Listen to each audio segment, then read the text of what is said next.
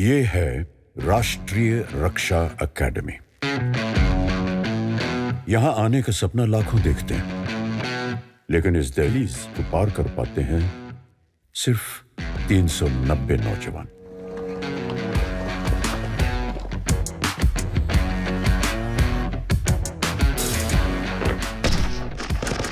ये एकेडमी कहलाती है क्रेडल ऑफ़ मिलिट्री लीडरशिप यहाँ स्कॉलर वॉरियर्स तैयार किए जाते हैं। ऐसे काबिल अफसर जो न सिर्फ़ अपनी सेना का नेतृत्व कर सकें, बल्कि देश की तरक्की में भी भागीदार बन सकें। And officer and a gentleman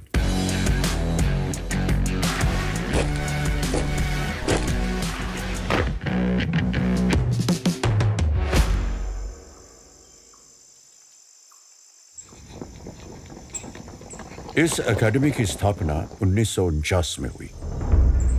जब ये ज़रूरत महसूस हुई कि देश में एक ही जगह पर आर्मी नेवी एयरफोर्स की ट्रेनिंग होनी चाहिए। एक ऐसी इंटर सर्विस एकेडमी जहाँ उच्च शिक्षा और मिलिट्री ट्रेनिंग साथ साथ हो।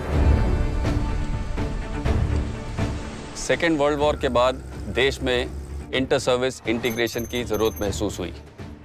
और इसके लिए आवश्यकता थी एक जॉइंट ट्रेनिंग इंस्टीट्यूशन की, जहाँ तीनों सर्विसेज़ के कैडेट्स को ट्रेन किया जा सके इकट्ठा।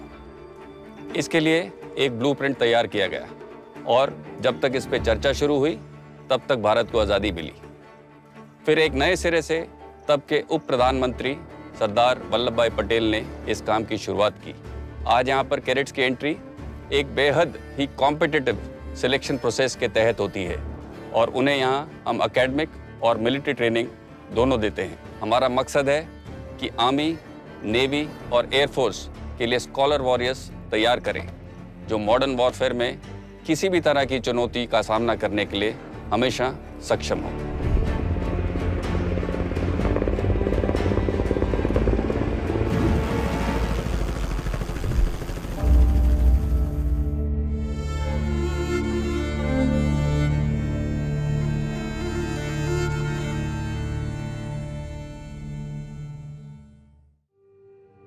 यहाँ पहुँचने वाले कैडेट्स की उम्र महज साढ़े सोलह से साढ़े उन्नीस साल के बीच की होती है।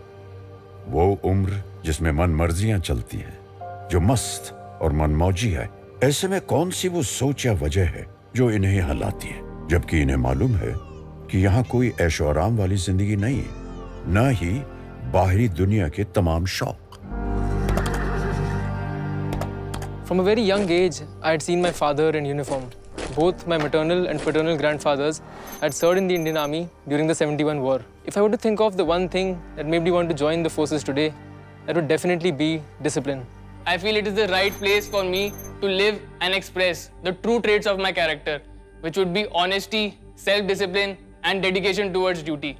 But whenever I see someone in uniform in the civil world and the respect that he gets, the way he carries, his elegance, and most importantly, the lifestyle, is what motivated me and I wanted to become the first person of my community to join the armed forces. In my childhood, whenever any aircraft used to fly over my village, people used to come outside to see that flight. So I used to think when an aircraft is getting so much respect, the person who is flying it, how much respect he would, he would get. How do you feel today when you fly? So it cannot be expressed in words. It is exceptional.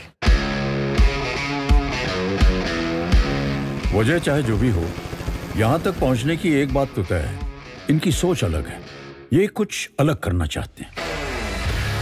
और कुछ तो बात है कि काफ़ी मुश्किल entrance exam को पास करके ये यहाँ पहुँचे लेकिन यहाँ कैसे इनकी ज़िंदगी बदलेगी, इसका पूरा अंदाज़ा इन्हें नहीं होता। चलिए देखते हैं।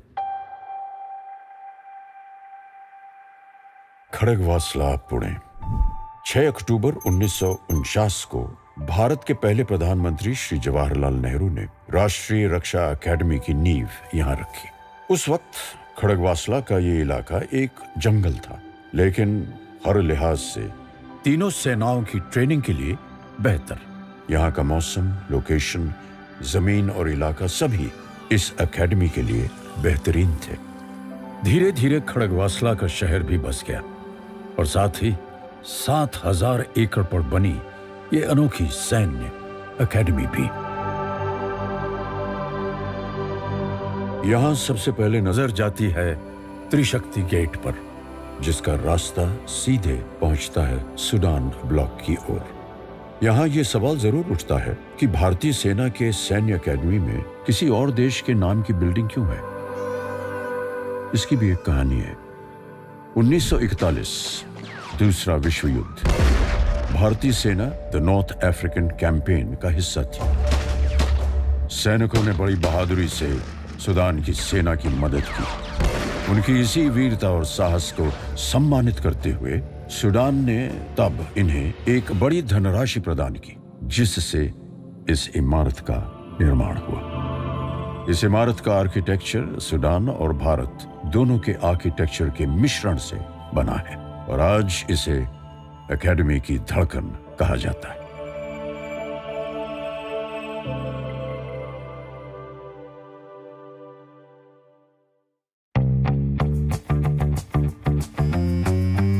एकेडमी में कदम रखते ही सभी नौजवानों का हुलिया एक सा कर दिया जाता है।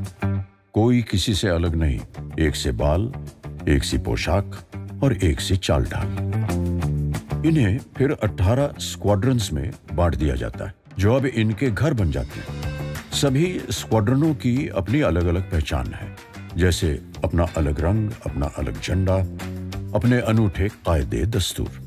साथ ही इमारतों पर इन्हें बनाने में योगदान देने वाले राज्यों के नाम लिखें। और इन्हीं कमरों में, जिन्हें कैबिन कहा जाता है, यार दोस्त बनाए जाते हैं। चिट्ठियाँ पढ़ी जाती हैं। मस्ती मज़ाक होता है। बीते दिन का ब्यौरा, अगले दिन की तैयारी, और वो थकान से चूर गहरी नींद जो आती है, एक मेहनत से भरे दिन के बाद। Any cadet that joins NDA is allotted one of the 18 squadrons. He learns everything and is uh, taught to live and die for it. He inculcates all the officer-like qualities and lives up to the motto of Naam Namak Nishan or service before self. And I can proudly say that it is my home away from home. Pay attention, Jaguars! Really, Jaguars! Really, Jaguars! और यहाँ से शुरू होता है इनका NDA का सफ़र, जिसमें training की गाड़ी चलती है चार पहियों पर। अनुशासन, समय की पाबंदी, कायदों का दायरा और ईमानदारी से सब सीखने, पढ़ने की समझ। सर्विस स्पेसिफिक ट्रेनिंग के साथ साथ joint training academics physical training और लीडरशिप जैसे अहम पहलुओं पर भी तवज्जो दी जाती है, ताकि प्रत्येक कैडेट को एक योग्य लीडर के रूप में निखारा जा सके। साथ ही उच्च शिक्षा के रूप में जवाहरलाल नेहरू यूनिवर्सिटी के सिलेबस के आधार पर बीए, बीएससी और बी टेक की मान्यता प्राप्त डिग्री भी दी जाती है। एनडीए को सैन्य लीडरशिप की निर्माणशाला के नाम से भी जाना जाता है। यहाँ पे चुनिंदा कैडेट्स को हमारे प्रशिक्षक बहुत ही निपुणता के साथ सक्षम लीडर्स के अंदर ढालते हैं। लीडरशिप के तीन महत्वपूर्ण पहलू होते हैं। पहला कि लीडर क्या है? दूसरा लीडर क्या जानता है? और तीसरा, लीडर क्या करता है?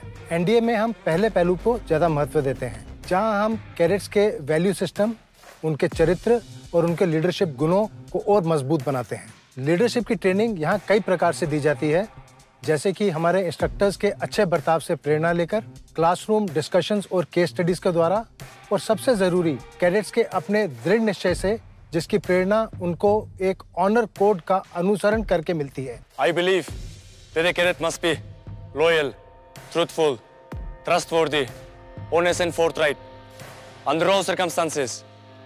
I will not lie, cheat or steal, nor will I mislead or deceive anyone.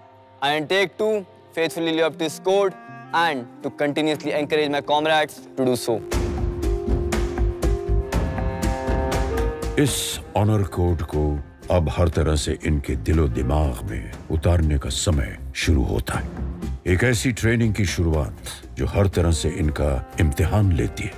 इन्हें तोड़ती है, मरोड़ती है, पटकती है। लेकिन इन सब के बावजूद जब ये कैडेट खड़ा होता है, तब इसका मुकाबला किसी और से नहीं, बल्कि सिर्फ़ खुद से होता है। ट्रेनिंग यहाँ क्लासरूम या फिर ट्रेनिंग एरियाज़ में ही नहीं होती। उठते, बैठते, सोते, जागते कैडेट्स पर रहती है कड़ी पकड़। कैसे? वो ऐसे कि इंस्ट्रक्टर्स और ट्रेनर्स के साथ साथ सीनियर कैडेट्स भी जूनियर कैडेट्स को सिखाते हैं। यहाँ हल्की सी भी गलती की गुंजाइश नहीं। यहाँ हर चीज़ कायदे से चलती। फिर चाहे वो ड्रिल का अनुशासन हो या फिर कमरे में रखा सामान या एकेडमी में दिखने वाली साइकिलें जिन्हें यहाँ बाइक कहा जाता है और जिनके अपने अलग नियम हैं। यहाँ बाइक चार छह के स्क्वाड्स में ही चलती है। यानी जब तक चार या छह का स्क्वाड नहीं बनता, आप इंतज़ार करिए या फिर बाइक लेकर पैदल दौड़िए। ये सारे कायदे इन्हें अनुशासन और फुर्ती के साथ साथ अपने टाइम टेबल पर रहना सिखाते हैं। यहाँ सब साथ साथ होता है। रहना, खाना, सोना, पढ़ना ट्रेनिंग यहाँ तक कि पनिशमेंट्स भी। पनिशमेंट्स को यहाँ करेक्टिव एक्शन कहा जाता है यानी सजा नहीं बल्कि सीखने का मौका दिया जा रहा है और तभी यहाँ के ये करेक्टिव एक्शन काफ़ी मज़ेदार होते हैं There's a funny story about punishments. That is, we don't actually call them punishments here. We call them ragda. Because it is said that jitna ragda, utna tagda. यहाँ अक्सर आपको कैडेट्स भागते हुए दिखेंगे नहीं ये कोई रेस या एक्सरसाइज नहीं बल्कि एकेडमी का मशहूर टेन टेन का पनिशमेंट है। जिसमें सुडान ब्लॉक से कोंडवा गेट की तरफ़ कैडेट को 10 मिनट और 10 सेकंड में भागकर वापस आना होगा। भागना तो सभी को है। कुछ को अपने टारगेट्स के पीछे, कुछ को अपने प्राइड के लिए। So are cadets in my opinion life is all about pursuit of objective and in defence forces military objective hold very high significance.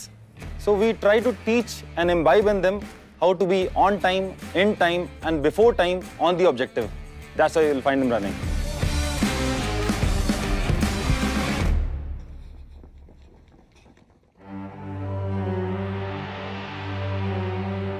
और ये वो भव्य इमारत है द हॉर्न ऑफ़ प्लेंटी यानी कैडेट्स मेस यहाँ न जाने कितने भारतीय और विदेशी मेहमानों ऑफिसर्स और कैडेट्स के मेहमान नवाजी हुई है यहाँ लगभग 2200 लोगों के खाने का इंतज़ाम एक साथ हो सकता है। और सारे कैडेट्स यहाँ एक साथ खाना खाने पहुँचते हैं। जब यहाँ कोई बड़ा जलसा या दावत होती है तो बाकायदा मिलिट्री बैंड अपनी जगह लेता है और उनकी धुन पर खाना सलीके से परोसा जाता है और मज़े से खाया भी जाता है। बैंड की धुन बदली तो साथ में खाने की प्लेट भी। यहाँ एक खास प्लेट उन अपनों के लिए सजती है जो हम सबसे दूर हैं और युद्ध से वापस नहीं लौट सके। वो है कुछ मिसिंग इन एक्शन साथियों के नाम, जो हमारी यादों में हमेशा रहेंगे। लेकिन हाँ ये कैडेट्स के लिए कोई कॉलेज की कैंटीन नहीं। यहाँ सीनियर कैडेट्स बाकायदा जूनियर कैडेट्स को मेस डिकोरम और डाइनिंग टेबल एटिकेट्स की ट्रेनिंग देते हैं। कैडेट्स को हम वेल बैलेंस न्यूट्रिशन और हाई प्रोटीन्स डाइट वाला मेनू सर्व करते हैं, क्योंकि कैडेट्स का ट्रेनिंग शेड्यूल कठिन होता है, इसलिए ज़रूरी है कि उन्हें हम कैलिफ्राइड कंटेंट्स वाली डाइट, भरपूर मात्रा में प्रोटीन्स और न्यूट्रिशन खाने का हिस्सा हो। इसी लक्ष्य के साथ हम मेनू प्लानिंग करते हैं और कैडेट्स को स्वादिष्ट, हेल्थी एवं संपूर्ण भोजन का स्वाद देते हैं। एकेडमी में आखिरी साल में इन्हें आर्मी, नेवी और एयरफोर्स की ट्रेनिंग अपने चुनाव के हिसाब से मिलती है। आर्मी कैडेट्स की ट्रेनिंग में शामिल है weapon training, map reading, field engineering और रेडियो टेलीफोनी। इन्हें लड़ाई के तमाम पैतरे भी यहाँ सिखाए जाते हैं। पेट्रोलिंग, कैमोफ्लाज और कंसीलमेंट मतलब छुपकर दुश्मन की जानकारी कैसे जुटाई जाए या फिर दुश्मन पर अटैक, गुत्थम गुत्था की लड़ाई और साथ ही फायर एंड मूव ड्रिल की भी ट्रेनिंग दी जाती है।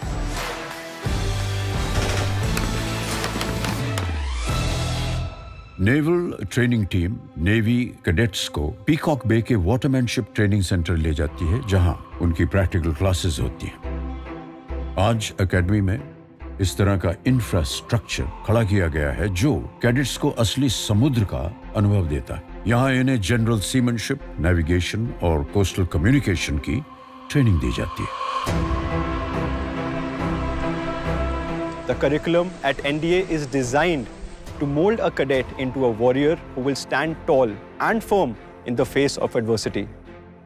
It is our endeavor to equip a naval cadet with the required skill set that will help him navigate the challenges that he might face at sea. Air force training simulated aircrafts पर होती है। पहले ground पर और फिर आसमान में। यहाँ इन्हें एयरक्राफ्ट्स के पुर्जे पुर्जे के बारे में बताया जाता है। साथ ही एयर ट्रैफ़िक कंट्रोल कम्युनिकेशंस और मौसम की अहमियत के बारे में बताया जाता है। राष्ट्रीय रक्षा एकेडमी के इतिहास में उसके 148वें बैच से जुड़ा है एक नया मुकाम। ये पहली बार है कि एनडीए में लड़कियाँ भी शामिल हुई हैं। इसके साथ ही भारत अब उन देशों की लिस्ट में शामिल है, जहाँ महिलाओं को भी मिलिट्री ट्रेनिंग इस उम्र में लड़कों के ही साथ दी जा रही है। इन महिला कैडेट्स के लिए कोई डील नहीं। वही मेहनत, वही रगड़ाई, वही सख्ती। आज अगर वो गुरूर से यूनिफॉर्म पहनती हैं तो वो सिर्फ़ इसलिए क्योंकि एकेडमी में उनके साथ कोई भेदभाव नहीं है.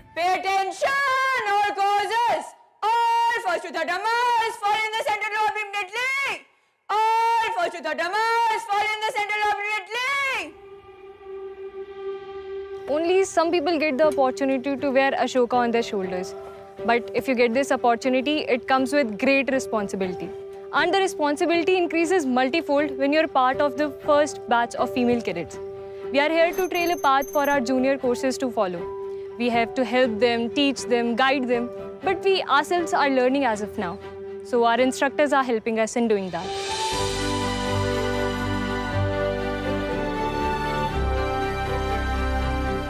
The female cadets train shoulder to shoulder with their male counterparts in the tough routine of the academy. The female cadets who were inducted in the first batch have now become third termers and have brought down glass ceilings and taken up their space in the academy. NDA की खासियत यह भी है कि यहाँ शुरू से ही friendly foreign countries यानी मित्र देशों के भी कैडेट्स ट्रेनिंग के लिए आते हैं और इनकी ट्रेनिंग में भी कोई कमी या बदलाव नहीं ये एक बेहतरीन मौका है जब सभी कैडेट्स दूसरे देशों की संस्कृति और सभ्यता के साथ मिलिट्री सर्विस के बारे में भी जानकारी हासिल करते हैं, जो कि जॉइंट ऑपरेशंस के तालमेल में काम आता है। My experience has been very really good because being a foreign cadet coming from Cameroon I have never had the opportunity of living in military life before but coming to NDA I have the opportunity to learn a lot of good things and from that I have also draw inspiration which I believe is going to help me when I go back in my country as military officer ये academy अपनी training को evolve और improve करना जारी रखेगी, जिससे ये ensure किया जा सके कि हमारे ऑफिसर्स वॉरफेयर की बदलती रूपरेखा और ज़रूरतों को पूरा करने में पूर्ण रूप से काबिल हों। मुझे पूरा भरोसा है कि हमारे कैडेट्स फ्यूचर में एकेडमी और देश दोनों का नाम रोशन करेंगे। आधुनिक युद्ध का चेहरा जो भी हो मिलिट्री ट्रेनिंग का सबसे महत्वपूर्ण काम लीडरशिप ट्रेनिंग ही रहेगा। ऐसे ऑफिसर्स को तैयार करना जो ऑलराउंडर हों, फिर चाहे एकेडमिक्स मिलिट्री ट्रेनिंग या फिर खेल, जो अपनी सेना की कमान हर कीमत पर, हर स्थिति में संभाल सकते हैं, सैनिकों में जोश भर सकते हैं, उनके जुनून को दिशा दे सकते हैं। और यहाँ से निकले ऑफिसर्स ने अपनी एकेडमी के लिए बहुत नाम कमाया है। देश की हिफाजत के लिए इंडो चाइना वॉर 1962, पाकिस्तान से 1965, 1971 और फिर 1999 में कारगिल की लड़ाइयाँ लड़ी। पीस मिशन से लेकर anti terrorism anti insurgency operations तक इन्होंने अपने प्रदर्शन से साबित किया कि ये दुनिया के बेहतर मिलिट्री ऑफिसर्स में शामिल है। भारत का सर्वोच्च वीरता पुरस्कार परमवीर चक्र पाने वाले एनडीए के ऑफिसर रहे captain Gurbachan Singh Salaria. Second lieutenant Arun Khetarpal और कैप्टन मनोज कुमार पांडे एनडीए ने फौज को कई chief of army staff chief of naval staff और चीफ ऑफ़ एयर स्टाफ दिए हैं। यही नहीं, अंतरिक्ष में जाने वाले पहले भारतीय astronaut wing commander Rakesh Sharma भी एनडीए के कैडेट रह चुके हैं। ओलंपिक में पदक जीतने वाले और फिर सरकार में मंत्री पद संभालने वाले कर्नल राज्यवर्धन सिंह राठौड़ भी एनडीए से हैं। एनडीए में ट्रेनिंग हासिल करने वाले इंजीनियर्स हर तरह से देश के निर्माण में अपना योगदान दे रहे हैं। देशभक्ति की आज यही सही परिभाषा है, जिसे ये स्कॉलर वॉरियर्स जीकर दिखाते हैं। और अब आते हैं कैडेट्स के एनडीए के इस सफ़र के अहम इम्तिहान पर। the outdoor camp. The camp starts with an approach march wherein the cadets undergo point-to-point -point navigation under the supervision of DS using a compass and a GPS. The distance is approximately 15 to 18 kilometers on the map. Once the cadets reach the campsite, the cadets undergo exercise bivouac pitching or tent pitching wherein they practice occupation of a campsite which is conducted over a period of four days and is graded every day. During the culmination of the camp, we have exercise Josh Run. The cadets are tested on map reading and night navigation in the form of a long endurance run after they have undergone four days of continuous working under conditions of stress and strain during the camp. और ये outdoor camp अक्सर outdoor training का अंतिम पड़ाव होता है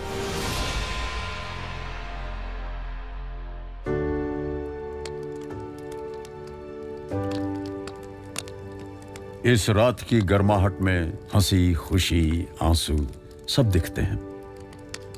जब यहाँ मौजूद हर कैडेट बड़े गुरूर से अपने इस सफ़र को देखता है, उन लम्हों को याद करता है, जब उसने पहली बार इस एकेडमी में कदम रखा था।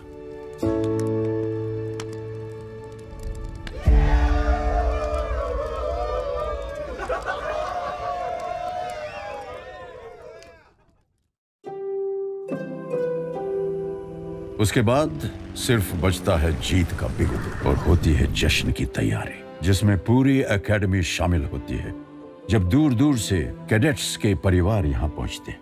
ये सभी परिवार शानदार पासिंग आउट परेड देखते हैं, जहाँ आखिरी बार कैडेट्स के तौर पर ये नौजवान मार्च पास्ट करते हैं।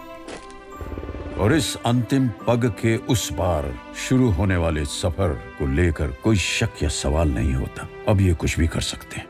फिर जंग चाहे ज़िंदगी की हो या फिर फौज की, उसे जीतने का मादा रखते हैं।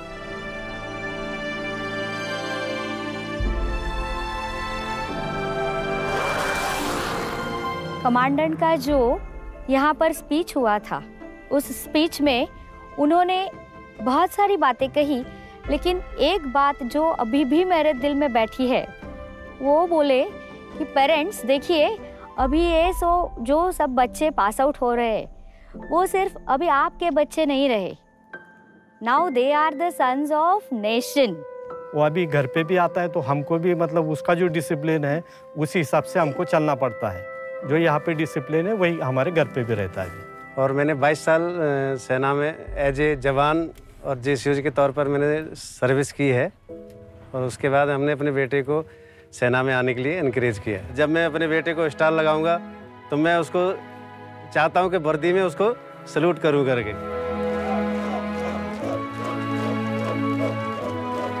खुद पर यह भरोसा इनकी चाल ढाल और आँखों में साफ़ दिखता है। ये वो दिन है जो ये अपनी ज़िंदगी में कभी नहीं भूल पाएँगे। तीन साल की इनकी कड़ी मेहनत, पढ़ाई और ट्रेनिंग के बाद यहाँ से वे आज सिर्फ़ एक डिग्री ही नहीं, बल्कि ज़िंदगी जीने का नया अंदाज, गहरी दोस्ती, किस्से, कहानियाँ, और अपने देश की तरक्की में शामिल होने का अवसर भी लेकर जा रहे हैं।